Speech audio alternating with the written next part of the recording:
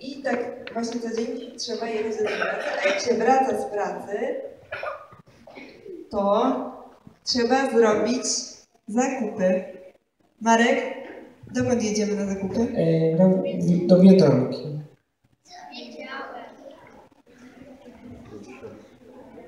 Bardzo. To jest ciekawa rzecz. Ręka do góry, kto lubi robić zakupy z rodzicami? O, wszyscy. My też lubimy. Niech, jakbym spytał tutaj was, czy macie marzenia, to kto by podniósł rękę?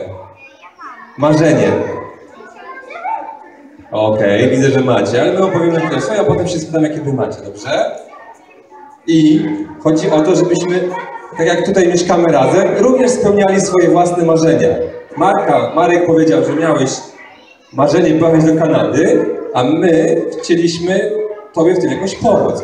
Pokażemy Wam kilka zdjęć z tego wyjazdu. Marek będzie je opisywał.